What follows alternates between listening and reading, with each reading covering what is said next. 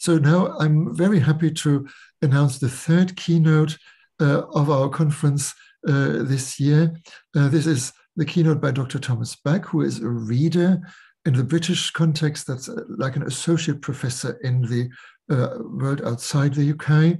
So, a reader in psychology at the School of, of Philosophy, Psychology, and Language Sciences of the University of Edinburgh. He was born, born in Poland and studied medicine in Germany and Switzerland, speaks excellent German, if I may say so, uh, obtaining his doctorate with a thesis on acute aphasias, uh, which means language disorders caused by brain diseases at the University of Freiburg in Germany.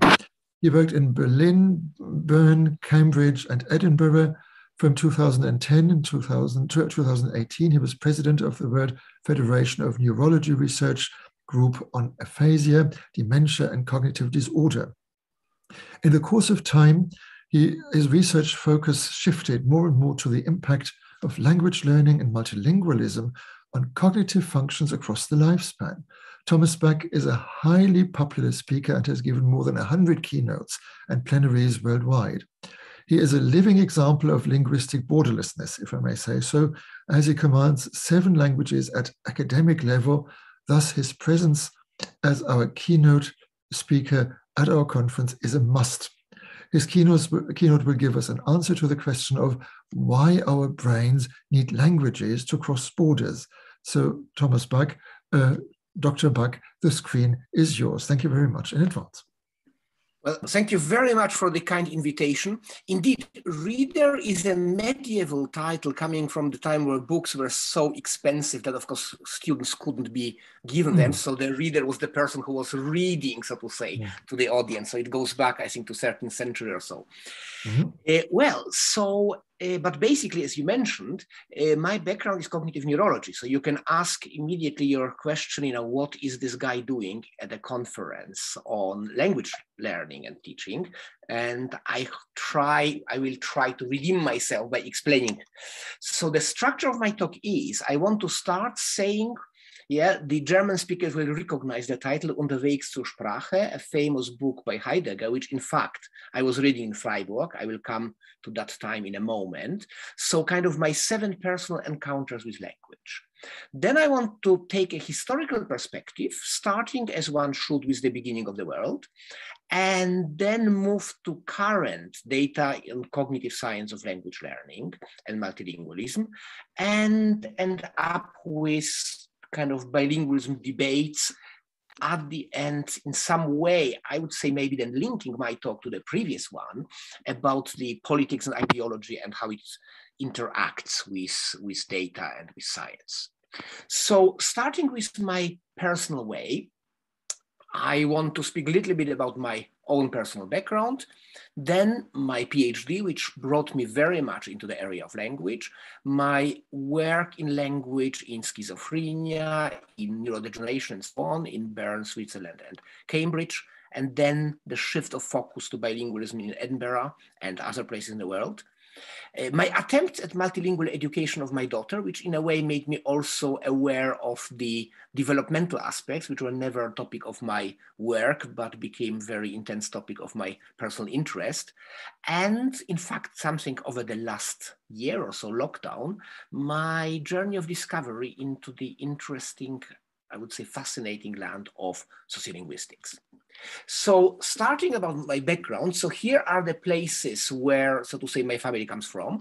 So on the left side is Zabrze or Hindenburg in German, in Silesia, where my mother grew up as a German speaker. And on the right is Lvov or Lviv in Ukraine now, which where my father grew up as a Polish speaker. Now, uh, only recently, when I started learning more about sociolinguistics, I realized that in fact I had quite a good introduction into the question of language and ideology, just growing up and observing very different attitude to languages, and particularly to German in Krakow and in Silesia, which were only 100 kilometers apart, not that far away. But in Silesia, language was really, there, was, there were kind of language wars going back to Kulturkampf, to Bismarck, 19th century, where in the German German time, Polish was perceived as uh, something negative, forbidden, and so on. Uh, in fact, my mother told me when she was a schoolgirl, the slogan at the entrance of the school was, "The Polnisch spricht is unser Feind," whoever speaks Polish is our enemy. And then after 45, when the area became Polish, uh, I remember my aunt telling how she, her mother was warned by a secret policeman on the street when she was speaking German to her daughter that, you know, next time you will have you will be real, really in trouble. So from this point of view, there was quite a lot, I would say, of language wars. In contrast, in Krakow, where I grew up, and in Galicia, in, in uh, Lvov, uh, German was simply the lingua franca of the Austro-Hungarian Empire. So my grandfather would have studied in Vienna or studied in Vienna, and that would have been the language with which, let's say, a Pole, a Hungarian, a Romanian, and a German would speak because that was the common language. So it was a relatively positive attitude to German as a lingua franca of Central uh, and Eastern Europe. So as I say, I, did, I grew up with it without even knowing it. So that's kind of learning through appreciation now.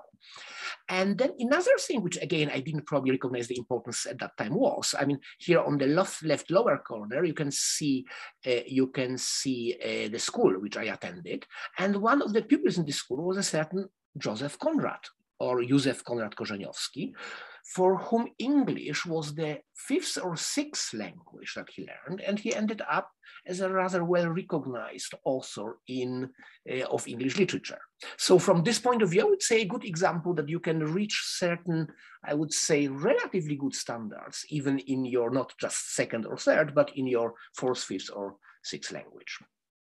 Then I moved to Germany when I was 17, and I'm particularly delighted. That's why I was kind of hoping to come to Saarbrücken, uh, you know, when before, of course, the lockdown happened, because in fact I started my academic life in the University of Saarland, University of Saarbrücken, namely in Homburg Saar. So the medical faculty is a few dozen kilometers to the uh, to the east is Homburg Saar. Here you can see it, a lovely small place with the Schlossberg, with the um, uh, mountain on the top. And that's where I kind of made my first steps. I was then for a year in Bochum Essen in Ruhrgebiet. And then I did my degree in Hamburg uh, here you can see it, in another beautiful place in the north, which in a way made me, of course, very aware of different German dialects, particularly as I then moved to Freiburg in Breisgau to do my PhD. And that was on recovery of aphasia, the question selective deficits versus compensation. And the theoretical background there was the emergence of cognitive neuropsychology and ideas of modularism. So under the influence of generative linguistics, the kind of predominant idea was that there are kind of different modules in the brain. Maybe here's the syntax module and so on. And what happens in aphasia was that uh, in a way, the kind of the syntax module or whatever language module is being knocked out by the disease. That was the predominant view, and you can see here uh, in the corner, so to say, kind of box and arrows models, which were very, very popular at the time. But around this time, so in 1980s, the new challenges came up. So firstly, the idea of functional regeneration of the brain, reorganization that in fact uh, what we see in recovery from aphasia, from language disorders, was not something as modular as we kind of expected. In fact, uh, you have people acquire new skills, people recover, then they fall back, then recover again. It was not really quite as neat as these models would predict. And then, of course, we got new technologies. I would say the in incredible importance, which we see now because we can have this meeting across continents with uh, internet.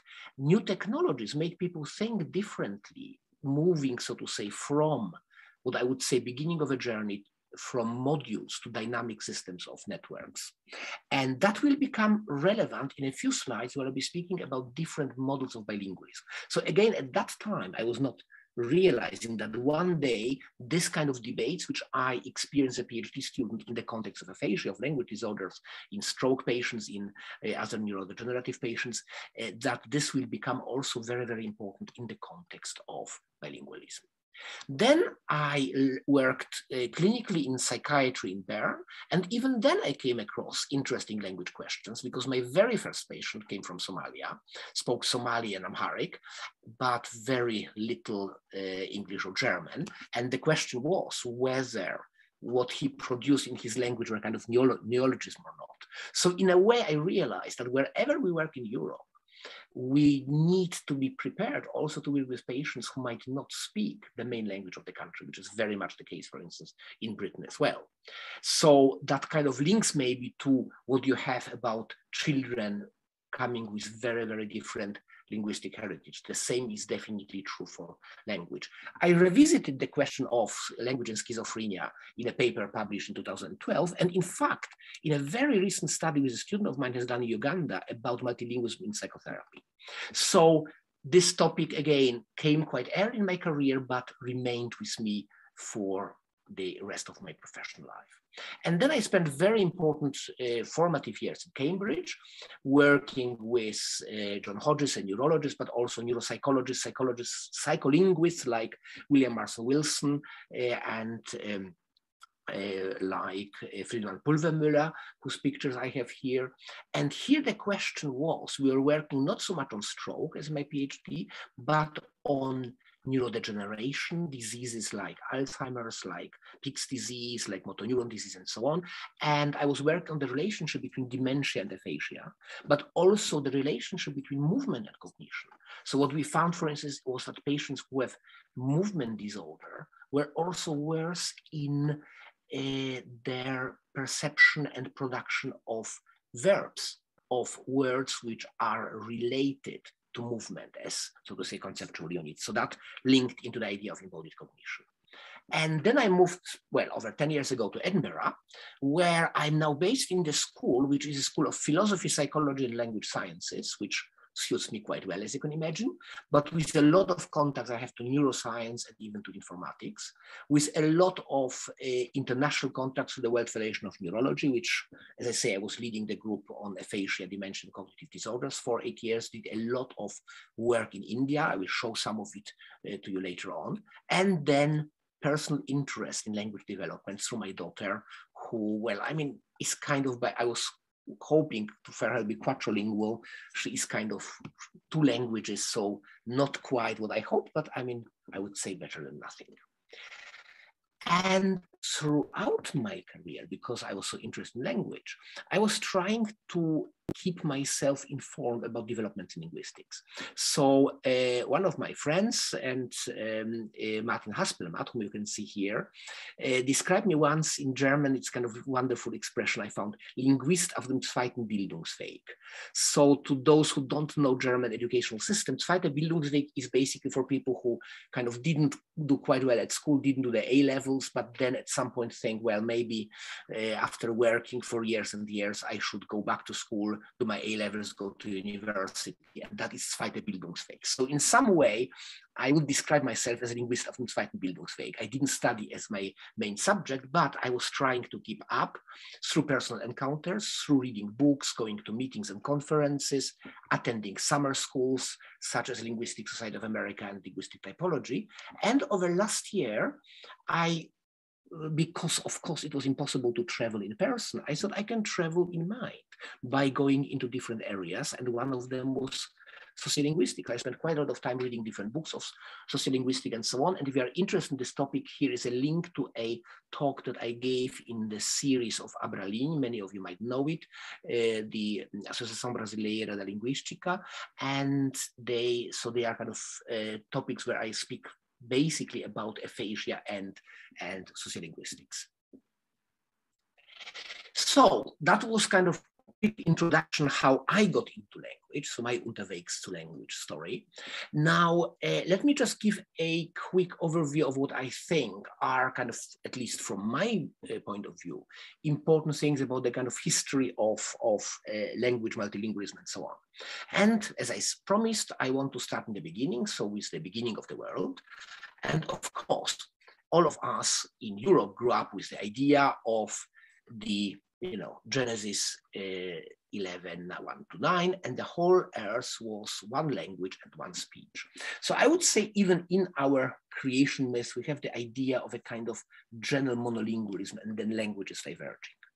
Interestingly, this is not necessarily universally uh, true because if you go, for instance, to Australia, in Northern Australia, there is a myth practically shared by a lot of people from different tribes speaking different languages of their ancestral goddess, Warramurrung traveling from Indonesia, then coming on shore and then setting up different tribes, different nations, all of them characterized by their distinct land, food, and language.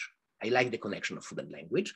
But apart from that, uh, the idea is that the world was meant from the beginning to be multilingual.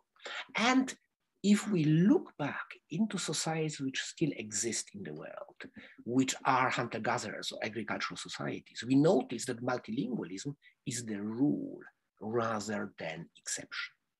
In many places in the world, we have a phenomenon called linguistic exogamy, which means that it is considered incestuous to marry someone who speaks the same language. Because if you have small linguistic groups of 500 or 1000 people, then very likely someone speaking the same language will be genetically uh, related. So if you marry someone from outside your language, it is the best, so to say, uh, guarantee of having, of avoiding genetic endogamy. Uh, I'm not sure if you realize that the linguistic exogamy is officially supported by European Union. Uh, there is a special program to support it. It is called Erasmus. One of the, let's say, probably not originally targeted effect of Erasmus was that apparently students who go on exchange are three times more likely to marry someone coming from a different country and speaking different language than those who don't. So we, I would say linguistic program is well, alive and well. But why is it important from uh, my point of view? Because it means that, so to say, the circumstances in which the human language developed and which you can find still in those societies or kind of closest maybe to them is that you need to learn languages all the time across your lifetime. I mean, you grow up with more than one language because your mother and father will speak different languages, your grandfathers anyway. And then when you marry, you are supposed to learn another language. So from this point of view, the idea is that you learn new languages across the lifetime. It's not just about children. And some societies enforce strict control of language output. So in some, you are allowed to mix languages. In others, it's very, very problematic. And that is something to which I will come at the very end of my talk when I mention the, uh, I think, fascinating but controversial topic of translanguaging. And the third thing is that in this case, from at least my point of view, uh, looking at the evolutionary perspective, multilingualism can be seen as a natural form of mental exercise. This is what everybody does. And here just the pictures, I mean, the, the picture on the right upper corner is from a talk which I gave in uh, Africa, this uh, meeting of Society of uh, African Neuroscience in Entebbe in Uganda a few years ago. And I remember my first question, because when I speak, you know, in Britain, the question is always, well, do you want to tell us that it's possible to learn another language? It must be awful and waste of time. Here the first question was, uh, sir, I'm from Ghana. In Ghana, we all speak three to four languages. Is it better if I speak five or six or seven? So that is so to say, so in many places in Africa, basically the baseline is three to four languages. And then if you are good at languages, then you go up from five upwards. And here the picture on the right is uh, of my friend and colleague, Nick Evans uh, in Australia well, I mean, he's from Australia, but this is in Papua New Guinea. I mean, who is working a lot with these multilingual communities in Aboriginal Australia and in Papua New Guinea. Sorry, sorry, uh, I forgotten to. Okay, then, sorry, I think, okay. Okay, so uh, now, one moment, yes. Uh, so here the question arises that particularly under influence of Chomsky linguistic, the idea of competence and so on, there is a perception that there is a kind of very deep divide between language learning as children, where you reach the kind of perfect competence and having throughout the day, and language learning, language acquisition, which is later laborious and so on and so on. So the idea is, on one hand, you have the early simultaneous bilingualism, natural, effortless balance, reaching native-like uh, ability versus second foreign language learning, which is formal, effortful, and imperfect. And the question for me is, is it a neat dichotomy which reflects real life language acquisition and use? And as I say, from the point of view of kind of our evolutionary history, I would say that we are programmed to learn languages at all times in our life. And in fact, I will come to it uh, a bit later. One of my main interests is the language learning in later life. And I think it's probably an ideal activity for people after retirement. So language learning is not just from at least my point of view, not just a preserve of the young, youngest, and that is the case already in hunter-gatherer societies. So we are not speaking about something very new which came suddenly in the 21st language, uh, 21st century. Now, another thing I find interesting, here again, the school I told you about, to which I attended in Krakow, Nowodworek, uh, the question of language learning as part of education. I mean, obviously, this was crucial through most of European history. So you know, still when this school was, I mean, I mean the school was founded in 1580s, uh, but it was, I mean, the building was built in 19th century, and we have here, of course, a copy of Raphael's School of Athens. So in a way, educated people would learn Latin and Greek, sometimes maybe even Hebrew. And what I find interesting is I am a big fan of European one plus two idea that, you know, it's not just about one language. In many cultures, you have the idea that in fact, different languages are particularly good for different things. So Latin would be the language of law, a language of the church and so on. Greek would be a language of philosophy, maybe more of poetry and so on. So we find it across cultures. Alfonso el Sabio, beautiful example, the uh, Alfonso the Wise, the King of Spain, who was writing his uh, legal texts in Spanish, but the lyric in Portuguese. And in 19th century, I would say in the time where, for instance, neurology came up, aphasiology and the classical authors of the late 19th century, it was clear that people would read in French, German, and English. And basically, I mean, they might not have been able to write and speak, but they were definitely able to at least have the passive knowledge of the three kind of what was considered three main European languages. But this is not only the case in European civilization. So if you look at the uh, Islamic world, there is also an interesting kind of coexistence of two extra languages, which, for instance, from Turkey to uh, India would have been spoken. Arabic is a language of religion and law, but then Persian as a religion or as a language of poetry, of art, and so on.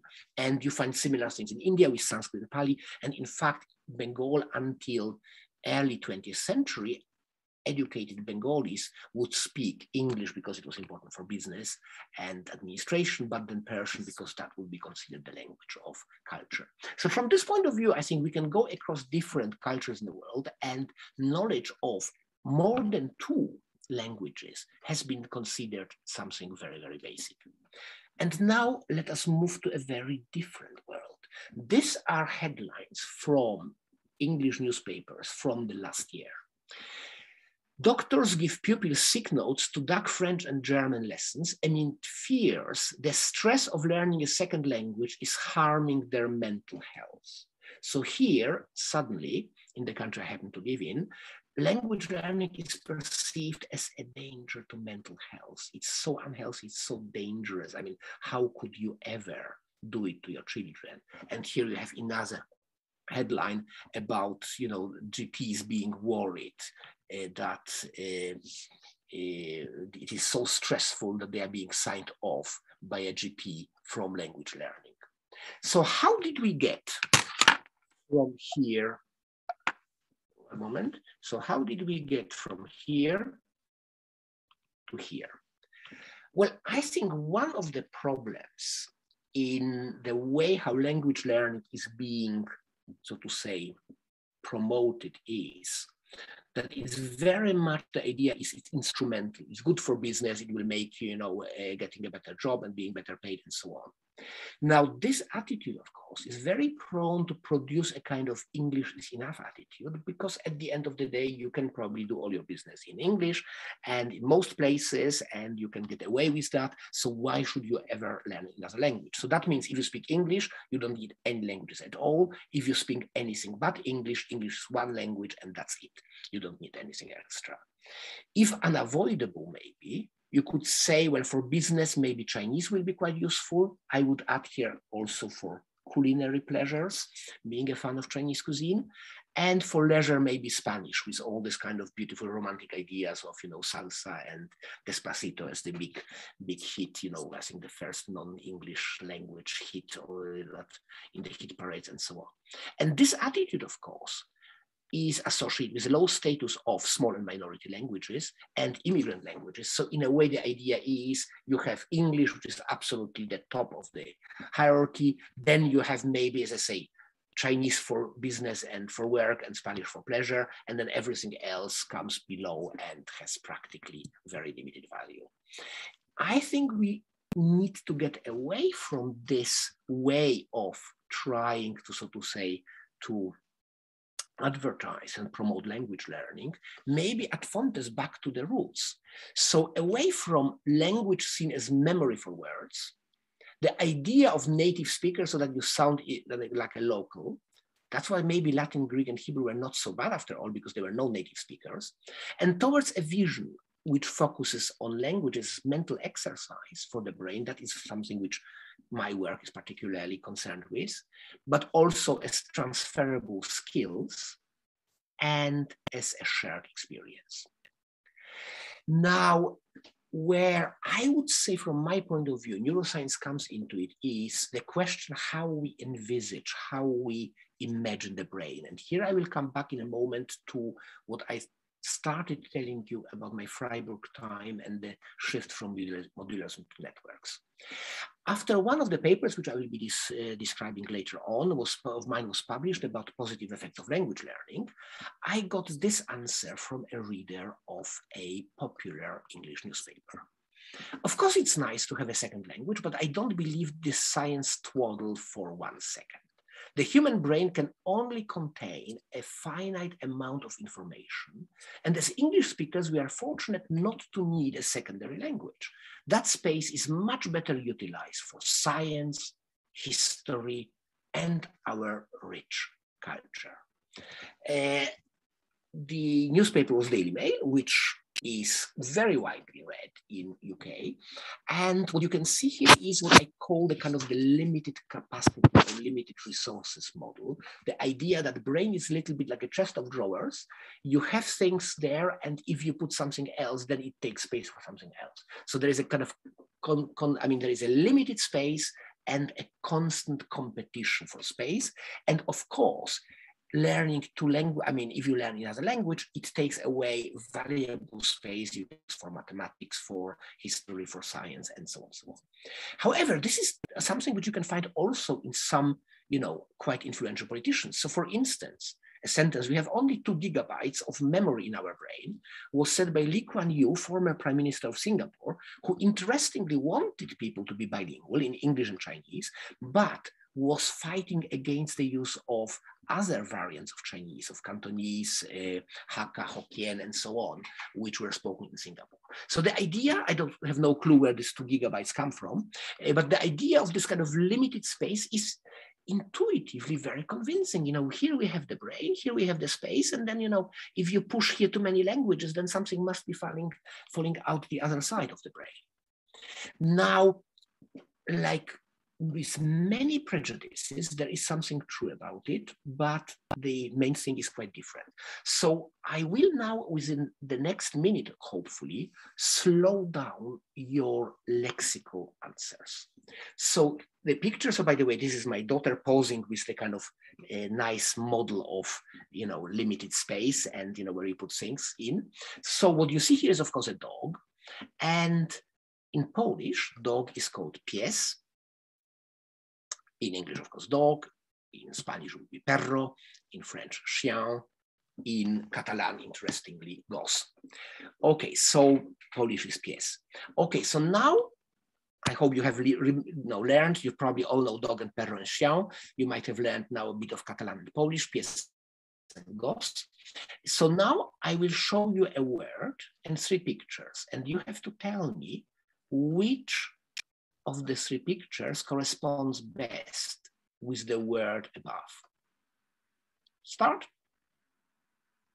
Okay, so depending on your language repertoire, you might go for pies on the right side, or for Spanish pies as feet below, or for actually rent Polish word pies for dog. So it means if you know more than one language, people are usually slightly slower on lexical decision tasks because they screen whatever comes in against a much larger entries, both in terms of sounds and written form and so on and so on. So it's not surprising, it's a very well established phenomenon that with learning languages, we get slower even in our own language by maybe 500, eh, 50 milliseconds or so, or 100 milliseconds. So there is an effect. But I would say this effect is well to be taken into account because of the positive aspects of it. So here I have, so to say, so that would be the kind of the limited limited uh, amount or limited model. You have this word, and if you have it in too many languages, it slows you down. But then, of course, on the other hand, you start making bridges. Now, uh, Thomas has kindly said, you know, how, for instance, uh, languages belonging to the Romance group can kind of cross react, cross understand each other. I would go further. Now, I don't know how many of you speak Finnish, but if you go to Turku, the second city in, uh, in Finland, you find a place called Kauppatori, and you would say that sounds very strange and has probably nothing to do with anything else, Kauppatori. But in fact, Kauppa is the same thing that we'll have in Köping, in Kopenhagen, in Kaufmann, Kaufbeuren, and so on in German, also Polish word kupiec. So in a way, this word moved through all Europe across. And Tori is related to uh, Polish, Russian, and so on, Targ, Torg. Uh, in fact, up to Romania, you find Târgu Mureș. So in a way, we can now suddenly, we can just take these two Finnish words, and if we don't see that, you know, something different is simply ununderstandable, we have suddenly a kind of mental map of population, economic, and linguistic history of much of Central and Northern and, and Eastern Europe. So that's, I would say, how networks work. So in limited resources models, you have the chest of drawers analogy, everything is static, localization, the competition for space.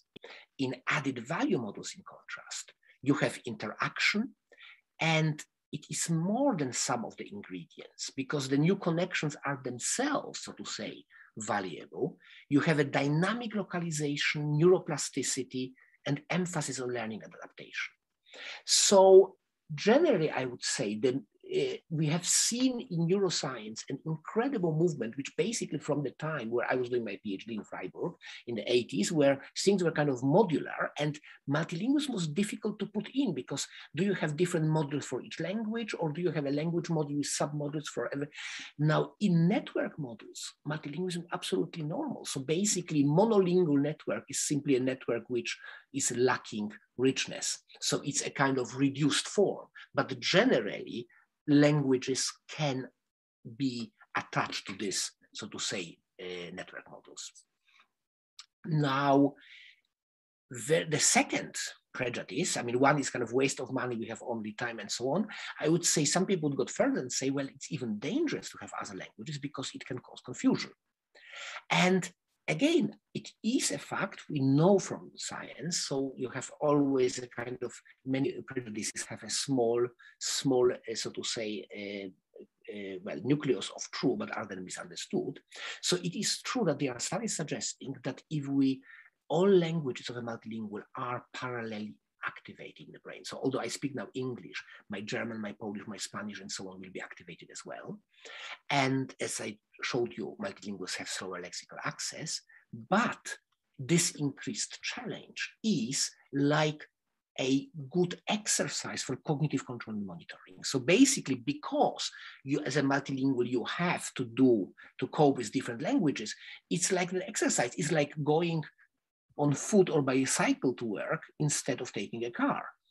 You know, you might get a little bit slower there, but it will be good for your health. And that the same for our mental health. Now, so again, this kind of the myth or the idea of confusion is quite old, goes back, I mean, at least I could find it very clearly uh, expressed in 1923 in a work on English Welsh bilinguals, where the author Saer was saying that the bilinguals have lack of definiteness in meaning and he claimed fusion is carried over from the brain area connected with language to those connected with other functions. So in fact, bilingualism is not only bad for language, it messes up completely your brain. Now, there is no brain science in this at all. These are all assumptions about the brain. I mean, he was a teacher, he never worked in with any patient, let alone neuroimaging, which of course would not have existed there, and pathology and so on.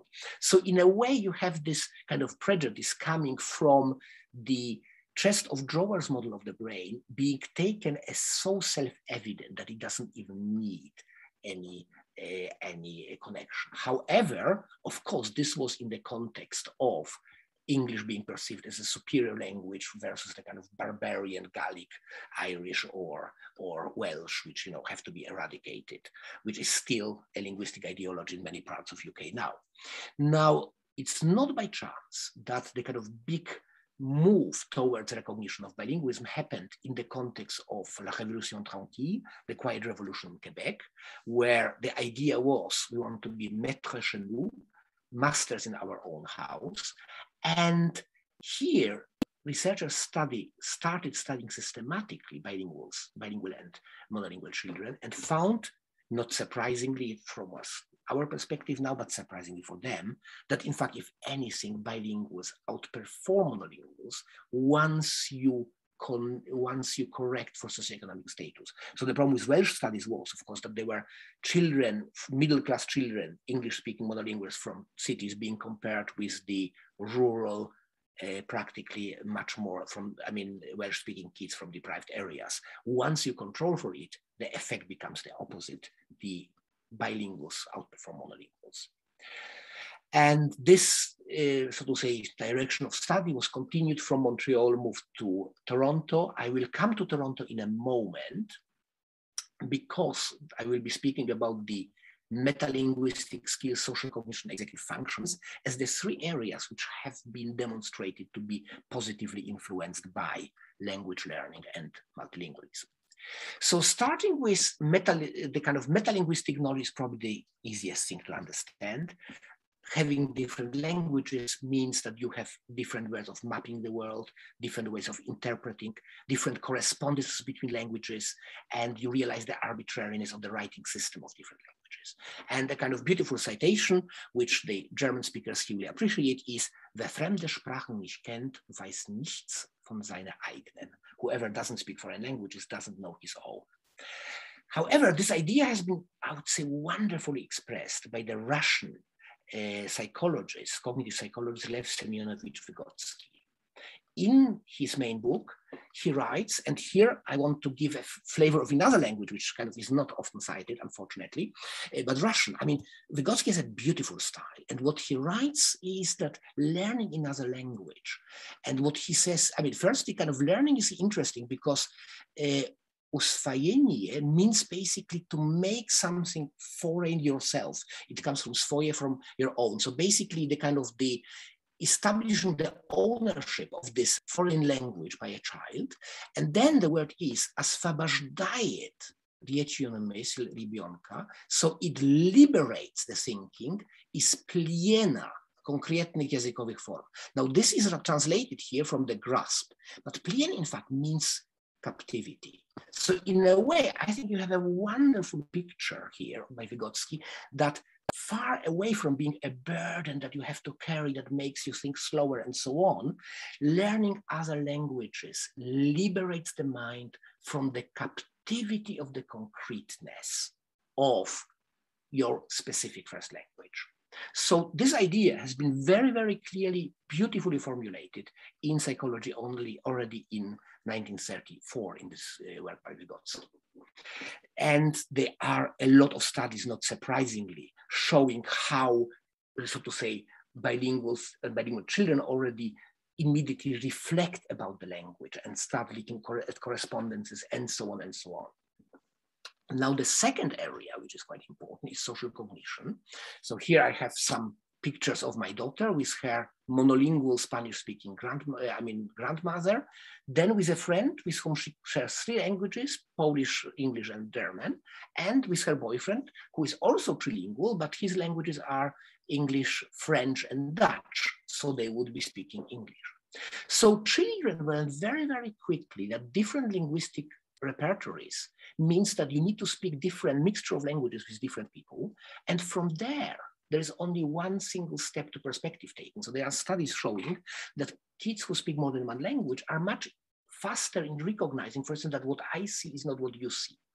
So uh, so here, and by the way, there's a kind of beautiful thing when I took my daughter once to a Swahili lesson, which I was, you know, where we had people, you know, from 25 to 75 learning it. Her comment was, oh, that's interesting. So I see grown-ups are learning things too, which I think was certainly a message I was very happy to convey to her. And then the third very important function are so-called executive functions. So here, the idea is that the simultaneous activation of different languages code switching, mixing a systematic behavior needs to better development of attention control mechanisms. And that means executive control, executive function, that means that you can concentrate also on non-linguistic text. As I say, you have the prize of slower linguistic access, but you get, so to say, a lot of advantage in these three areas, metalinguistic knowledge, social cognition, and executive function. And just to show a couple of my own work in this field. So for instance, we're looking at people learning, uh, I mean, in this case, Spanish and Italian, first year students versus fourth year students. And there was no difference on test of everyday attention, so a test of attentional switching in first year, as you can see, but there was a significant difference after four years. So that means that language learning led to a better development in uh, attentional switching, a completely non-verbal task. Then we are looking whether you can find similar effects even after one week of an intensive course.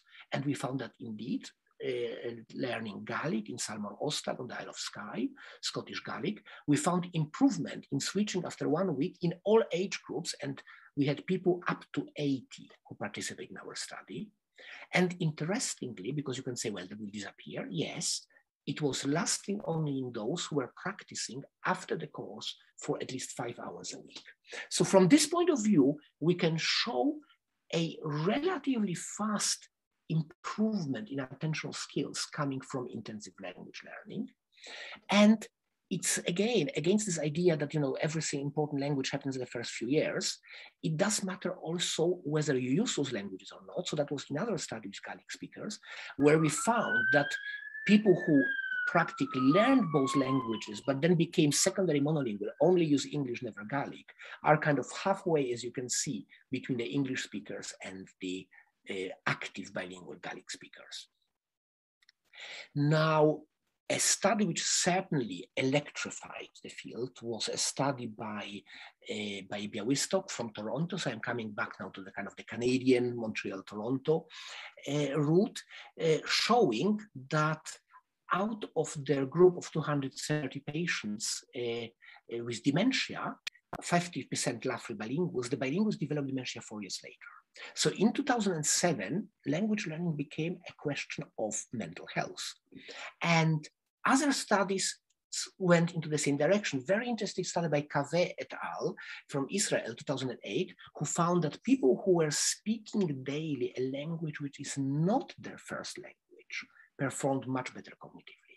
So here you have not only an effect of language number, but also the kind of the effort of speaking language which is not your first is in fact a positive effect.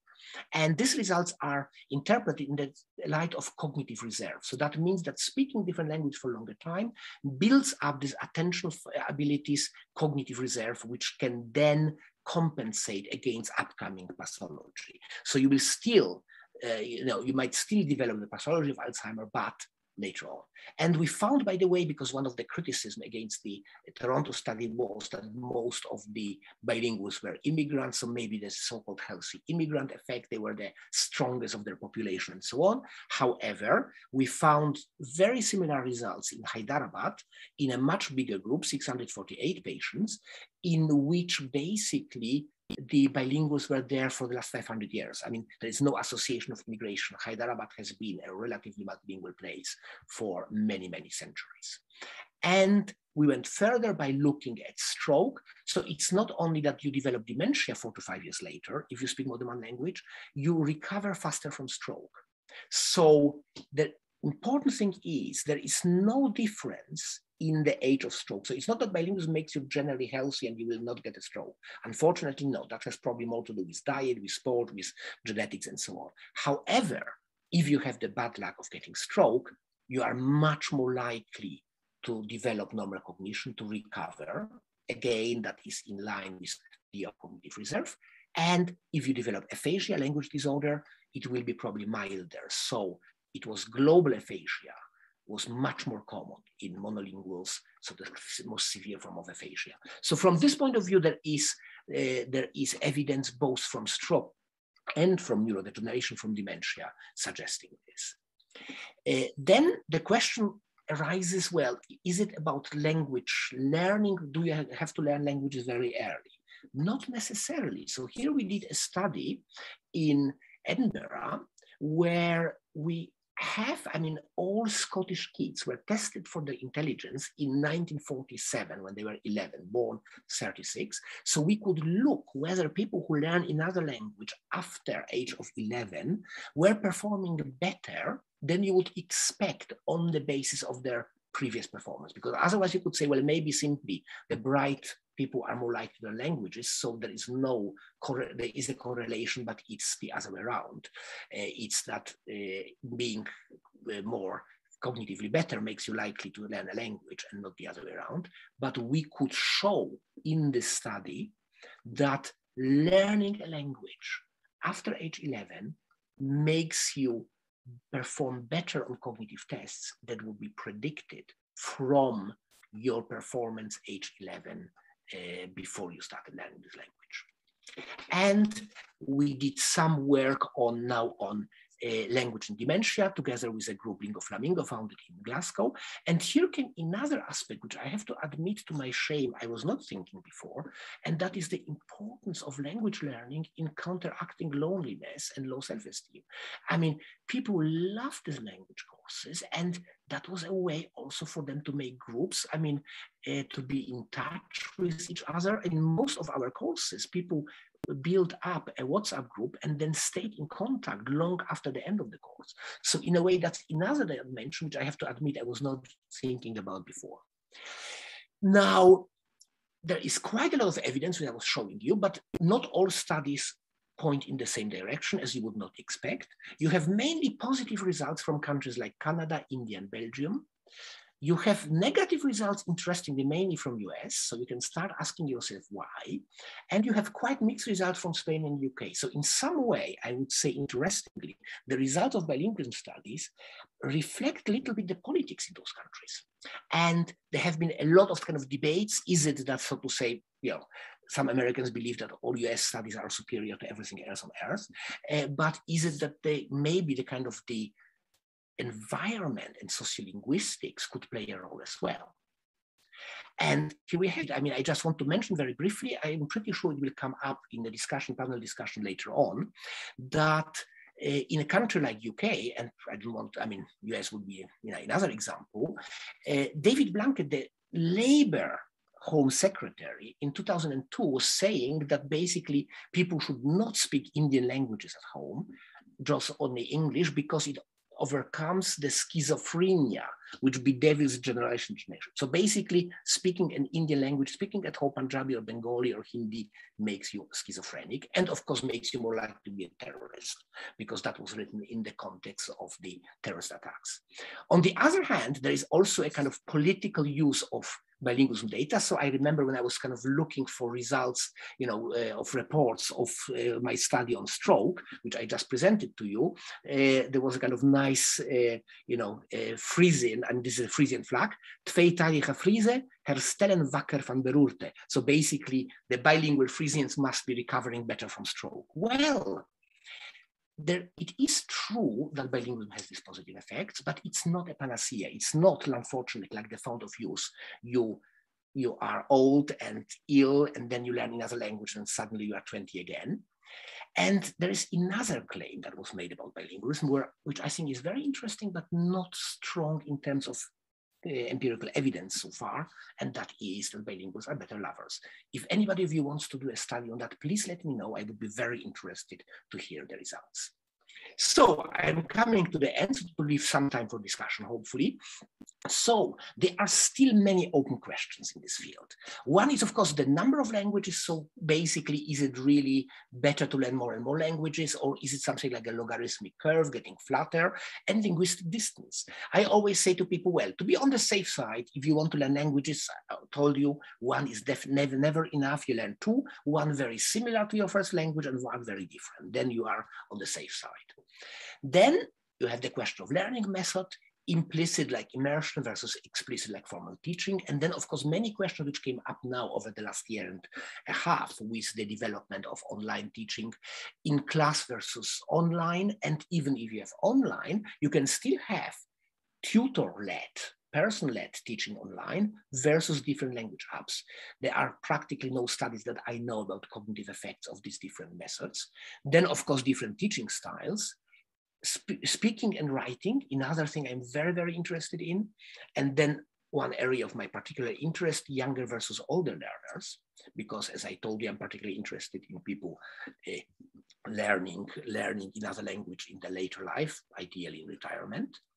And then I just want to mention it because I think it is a kind of big issue and I'm pretty sure it will come up somewhere in, in our panel discussion, language switching and translanguaging. I think we went almost from one extreme to the other, from this kind of puristic idea of different languages to the idea that, you know, it's only one language and mixture. I think this having a different repertoires of languages is really important for us. And, and for executive functions, important that I'm not just speaking whatever comes to my mind, but I'm speaking whatever is appropriate with the people I'm speaking in, with and the context. And, and as I say, and that is something which children get very, very easily. Uh, here is, by the way, a, um, a I mean, a questionnaire, but I mean, I think we will come now in this last slide. So that is last slide. Uh, so let's keep in touch, hopefully. So first, you can help our research. So here are two links to two surveys online which we are doing, and I would be grateful. So one is about language learning and teaching experience. So if you learn, learn I mean, language teacher, you can do both with your hat of language learner and your hat of language teacher. And here I'm particularly interested in experience, for instance, of learners from different uh, age groups and so on and so on. And for people who are over 50 or who know anybody over 50 who might be multilingual, we have another questionnaire here about language change in later life. If you are interested in my work, I'm very active on Twitter, so follow me on Twitter is always a good way, and I, am uh, sending links to papers and so on. Here is one uh, website which I am running together with a colleague from uh, UCL Institute of Education, Nina Mehmet Healthy Linguistic Diet. This is my profile page from the University of Edinburgh. And the last thing, on 27th of March, for the last two years, I started to celebrate International Day of Multilingualism. I mean, 27th of March is the day mentioned on Rosetta Stone, the famous multilingual document, so to say, British Museum. And the hashtag that we are using is multilingual is normal because, as I say, I want to counteract this idea of language, uh, I mean, language learning and multilingualism being just something very exotic, new, which came now with globalization and so on and so on. And is, I would say, it has been the rule for most of the humanity for most of the last uh, 50,000 years or so. Okay, thank you very much. And as I say, I still hope we have some time for uh, discussions. I'm looking forward to your questions. Thank you very much, Thomas. This was a very interesting, very inspiring talk. Uh, and I guess you made several among us feel that with our professional choice dealing with languages, we are on the right track, aren't we? so, are there any questions? Okay, so there's a German uh, a German and multilingual. I, I, I, just found a lo lovely citation here. Sprachlicher Mischwald ist besser als sprachliche Monokultur. Uh, language diversity, so to say, that's mixed true. forest is better. Yeah, mm -hmm. one wonderful citation of Goethe. Yeah. This is a, a professor, uh, Professor Selimi from Switzerland, who has also got a multilingual language background. Thank you very much for this uh, very nice remark. As you were talking about a linguistic diet. Uh, so, what is the optimal linguistic diet for, for, for you or from your perspective? You said, actually, okay, learn one more language uh, which is close to yours and one which is very different.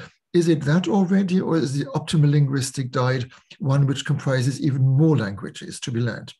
Uh, well, I would say, I mean, the metaphor of linguistic diet came from our meeting with uh, with um, Dina Mehmedbegović, which we had, in fact, in Brussels. I mean, it was an event organized by the European Commission, and we discovered that we both were using this metaphor for very different reasons. I mean, so she was doing because there was this idea about the healthy food at school and so on, and I was doing it because, of course, there is a big debate about you know healthy living, dementia, and so on, and diet, and. Mm-hmm interestingly, there are, of course, some schools which say, oh, you just need, you know, blueberries or you just need celery and so on. But the real, really good evidence is rather about diversity. It is important to mm-hmm. have a diverse food. It's not about one ingredient that you have. Uh, and therefore, I would say it's about diversity. It's knowing different languages. So in some way, that's I say why I'm so much supportive, and I'm very happy that Scotland, unlike England, is still supporting the European mm-hmm. Union policy of one plus two languages. Mm-hmm. I think you know two languages is not enough. I mean, I, I would mm. go, I mean, one definitely not, but I would mm-hmm. say two not. I mean, I would go at least three, and then having the, the diversity is what mm-hmm. makes it really important. Actually, that's this aspect of linguistic diet I was talking about, the type and number of languages to be learned.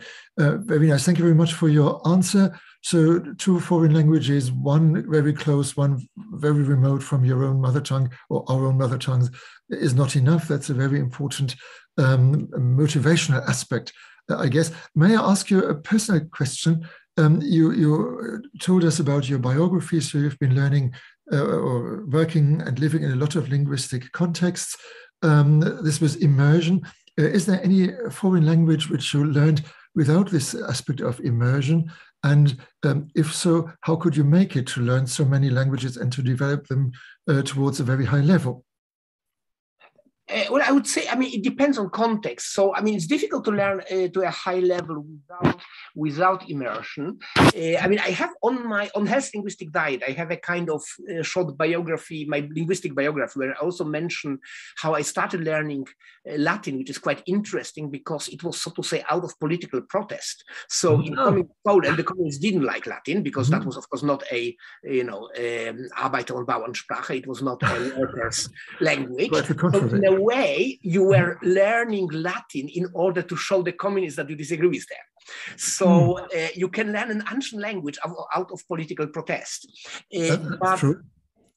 Yeah, but, but generally, I, I, would say it's always, I mean, for me, it's, it's simply a kind of incredible curiosity how things mm-hmm. work in different mm-hmm. languages. Mm-hmm. And, and, you know, I gave this example of Kauppatori because very often people have, oh, that's a kind of very different language and so on. It's mm-hmm. always mm-hmm. trying to look what is behind the surface which that's why I gave this Kauppatori example because Kauppatori doesn't sound familiar probably to most of us except Finnish speakers, but yet beyond beyond the surface, there mm-hmm. are things that are incredibly familiar to us. Mm-hmm. Very nice. Uh, any more questions from the audience? Ah, there's one hand raised. Okay, um, uh, thank you. So you think that is natural, right, to learn more than one language, right? Absolutely. I would say our brain is, so to say, practically made to cope with multiple languages, both in childhood but also later on. And I see multilingualism as a product of linguistic deprivation. Mm-hmm. It's, it's, very nice that you stressed, which many of us may have known beforehand, that monolingualism, so individual monolingualism, is actually the exception and not the rule. And that's what we have Absolutely. to. I, I think we mm-hmm. need to, we really need to turn the tables from a discourse, which is kind of very strongly influenced, of course, by UK and US uh, work, which kind of assumes that the natural form of human brain, mind, and society is monolingualism, to one where this is seen as a weird exception. Mm-hmm. Which it is, and, and, I think that's how it is. So I, I think changing the default settings in our approach is really important and and i think we should all work on that because in a way mm-hmm. uh, this i mean this you know monolingual idea particularly in anglo-saxon world is very strongly connected with the idea of kind of anglo-saxon superiority Mm. I mean, there's a hmm. wonderful, uh, wonderful book, the, the Emergence of English Native Speaker by, oh, it's, it's an Anglicist from Munich, um, uh, I, I, had it in one of my uh, slides, in fact, uh, and uh, I, I, I, mean, very often the idea was there is this kind of superior language called English, and then you mm-hmm. have the kind of hierarchy going down. So you have the mm-hmm. combination of a kind of very colonial linguistic imperialist mind shift with the ideology of monolingualism. And I think we should clearly work against that. Mm -hmm. Thank you very much. Uh, in a region like Saarland in Germany, and region which, region which you know, there are people, of course, who speak French and German, and those who live close to the border very often mix these languages. You talked about language switching, translanguaging, and so on. Uh, but isn't this way of speaking a language, like um, starting a sentence in French, then the next word coming to your mind is German, then you continue in French, then some words in German, isn't this uh, not only chaos, chaos created in the human brain, but also bad for health? For mental health? Uh, well, I, I think, as I say, I don't think that there is something, uh, such thing like a kind of really uncontrolled. Uh, mm-hmm. This you get, by the way. I mean, it's a question which I find you know, very interesting. And that's why I have this kind of second, by the way, uh, mm-hmm. uh, this uh, second uh, survey where we are looking at languages in later life. People don't mix languages unless they get really bad uh, brain diseases. Mm-hmm. And I could see that, by the way, in my own mother. I mean, when she had a, I mean, bowel cancer with, with liver metastasis, in her last weeks, she was mixing Polish and German, which she would have mm-hmm. never done before. Mm-hmm. She always, she could speak both. She could mix, or let's say she could mix when she could. So for instance, with me, she would mix both languages because she knew that I understood them. But mm-hmm. when she was speaking to a pure, so to say, Polish only speaker, she mm-hmm. would speak only Polish. If she was speaking to a mm-hmm. German speaker, she would speak only mm-hmm. German.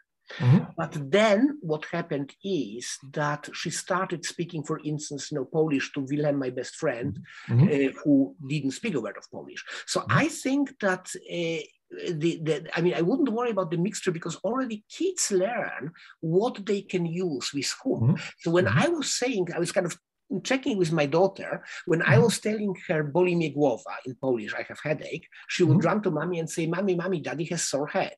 But if I mm. said the same in Spanish, me duele la cabeza, Mm-hmm. Then she would not translate because, of course, mommy is Spanish. She knows Spanish. She doesn't need a translation. So, depending whether I said something in Polish or in Spanish, she would translate it for mommy or not. And that from yes. to four. So, I think this idea of confusion is a projection of monolinguals who don't really understand it because, as I say, I think it's fine to mix languages in a surrounding where we can do it because we know mm-hmm. that other partners do it, but already kids learn that you know you have to adjust your repertoire of language mm-hmm. mixing to mm-hmm. whoever is on the other side. In, in, a way, I think there are even new models of bilingualism, Abutalebi and Green and so on, mm-hmm. which say that, so to say, the best exercise for the brain is where you have sometimes mixing and sometimes separation, because mm. then you, mm-hmm. so to say, you need to negotiate different language That's true. That's true. That's true, indeed. Thank you very much. So this is your applause. Thank you very much. Thanks a lot for the uh, interest. Okay. okay. Thank you very much. See you, see you later, and thanks for your inspiring talk. Thank you. Bye. Bye.